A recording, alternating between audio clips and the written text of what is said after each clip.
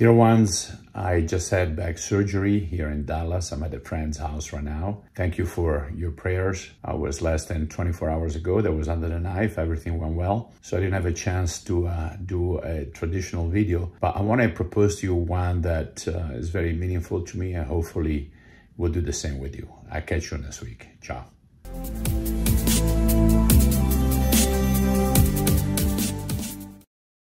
The dash, the most important symbol that exists. The other night I was celebrating the 60th birthday of a dear friend of mine, and all of a sudden people started to tell stories, but more so they started to give him praises for the kind of life that he has lived so far and the impact that he has had on different people. And the interesting thing is that it became almost like a memorial while he was still alive. My favorite movie is Gladiator. And there is one scene where the general, Maximus, he's saying to his troops right before they go to battle, what you will do on this earth will echo into eternity. Awesome phrase. One day, my friend, me, and you will have a stone with two dates written on it that are separated by a little dash.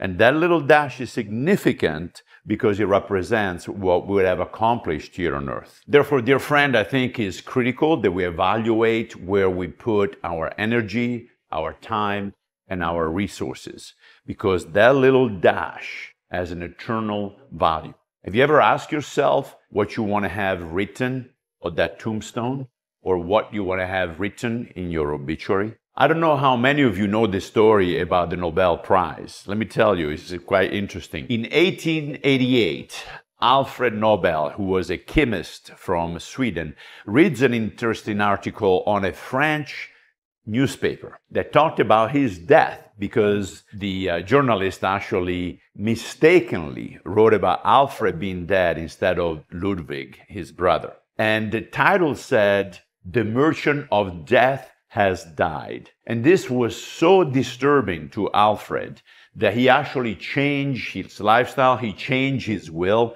He actually decided to donate 94% of his estate, which uh, today actually amounts to $500 million, to five different categories, five people that would excel in physics, in chemistry, in literature, in medicine, and in peace. So those are awarded today to people that are exemplaries in those areas every year, as you know. But the man dies eight years later at the age of 63 in his house in uh, Sanremo, Italy, having changed, though, the outcome of his obituary. Alfred was lucky enough to foresee what would have been written actually about his death. And he made some radical changes to his life. What we visualize in the future has a tremendous impact on our action today.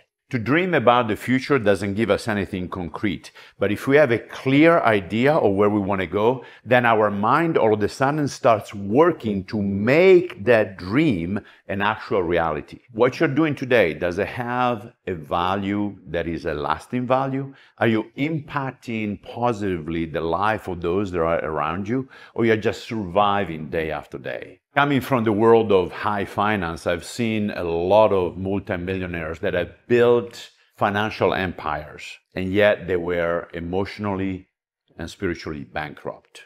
So, all that labor, all that work, for what end?